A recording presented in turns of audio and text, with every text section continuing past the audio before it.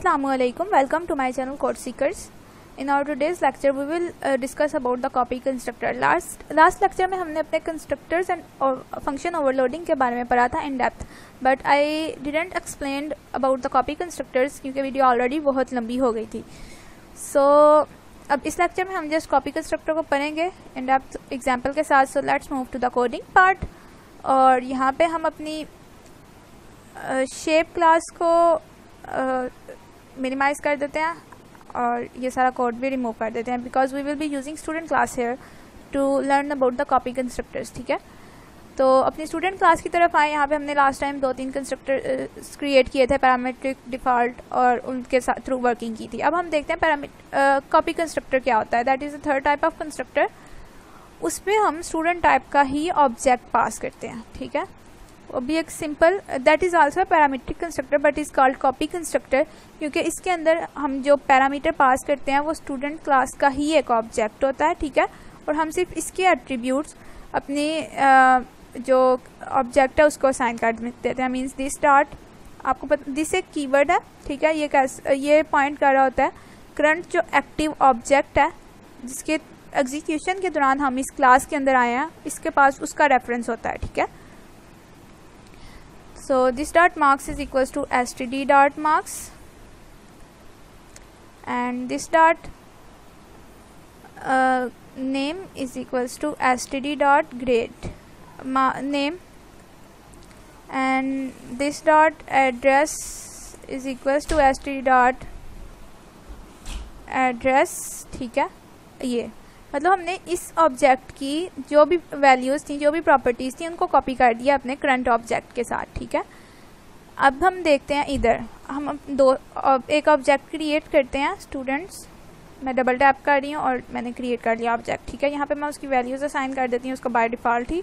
85 Javeria and Pakistan ठीक है?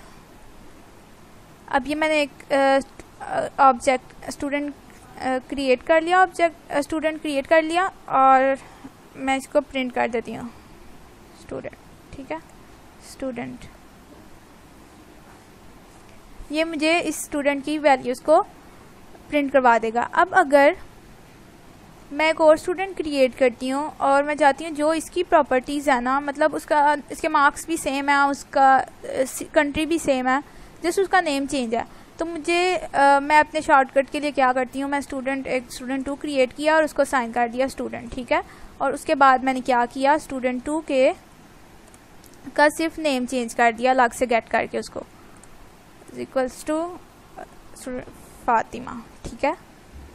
Student to का मतलब एस एक दूसरा स्टूडेंट क्रिएट किया उसको असाइन किया अपने स्टूडेंट जिससे क्या होगा कि ये सारी वैल्यूज़ उसके पास चली जाएँगी, ठीक है? और फिर सिर्फ़ उसका नेम चेंज कर लिया, जिससे क्या होगा कि उसके मार्क होना, क्या होना चाहिए कि उसके मार्क्स और एड्रेस सेम रहे, उसका सिर्फ़ नेम चेंज हो जाए किसका स्टूडेंट टू का।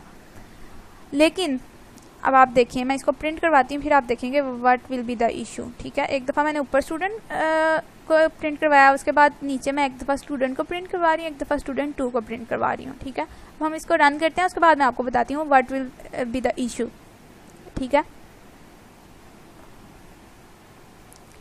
सो so, हम देखते हैं कि ये प्रिंट करवाता है तो क्या प्रिंट करेगा ये?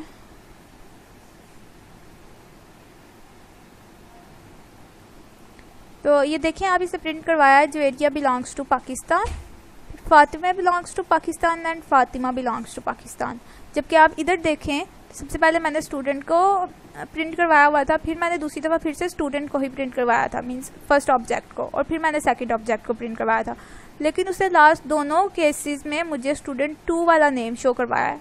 This means it have done changes in student two मतलब ये कि जब हम इस तरह से, इसका क्या मतलब है कि जब हम इस तरह से स्टूडेंट एक ऑब्जेक्ट एक क्लास का एक ऑब्जेक्ट उसी क्लास के दूसरे ऑब्जेक्ट को असाइन करते हैं, ठीक है? यहाँ पे मुझे ज़रा वन लगा लेने थे ताकि बोलते हुए हमें मसला ना हो और आपको इजीली समझ आ जाए। तो जब हम स्टूडेंट वन को इस तरह से असाइनमेंट के थ्रू अपने दूसरा ऑब्जेक्ट क्रिएट करते हुए असाइन कर रहे हैं। तो ये एड्रेस इसके पास जा रहा है ठीक है? और फिर हम जब स्टूडेंट टू में जो भी चेंजेस करेंगे वो स्टूडेंट वन पे भी इम्प्लीमेंट होंगे। असाइनमेंट के थ्रू जब हम जो रेफरेंस uh, ऑब्जेक्ट्स होते हैं ठीक है?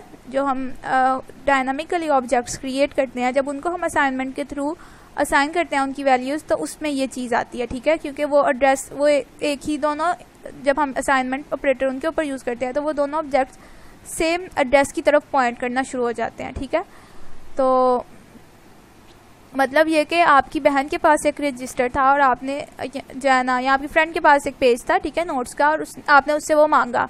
तो उसने वही आपको दे दिया ठीक है और आपने डायरेक्ट उसके ऊपर ही चेंजेस कर दिए हैं ठीक है? तो वो दोनों के नोट मतलब आ, दोनों के पास वो चेंजेस इंप्लीमेंट हो गए। सो so, जब हम असाइनमेंट ऑपरेटर यूज़ करते हैं तो वो काम होता है। दोनों के ऊपर चेंजेस हो जाते हैं ठीक है? सो so, हम असाइनमेंट ऑपरेटर यूज़ करने की बजाय कॉपी कंस्ट्रक्टर जो हमने बनाया आप उसको यूज़ करते हैं ठीक है? मैंने उसमें असाइन कर दिया।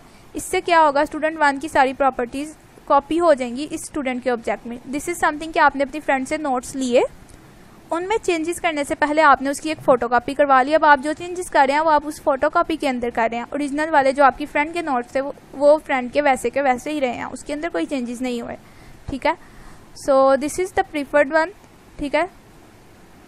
और अब हम ये इसके थ्रू जब हम रन करेंगे तो आप देखेंगे कि now it will be printing as something different desired one ये स्टूडेंट वन के अंदर चेंजेस नहीं करेगा। ठीक है? सो so, ये देखें अब इसने सबसे पहले जवेरिया बिलोंग्स टू पाकिस्तान फिर उसके बाद भी Javeria belongs to Pakistan and Fatima belongs to so I hope कि आपको कंस्ट्रक्टर कॉपी कंस्ट्रक्टर की समझ आ गई होगी। पर्पस उसका समझ आ गया होगा, उसका यूज़ समझ आ गया होगा। So that was all about copy constructor इंशाल्लाह हम अपनी नेक्स्ट वीडियो में इनहेरिटेंस के बारे में पढ़ेंगे। अल्लाह हाफिज़।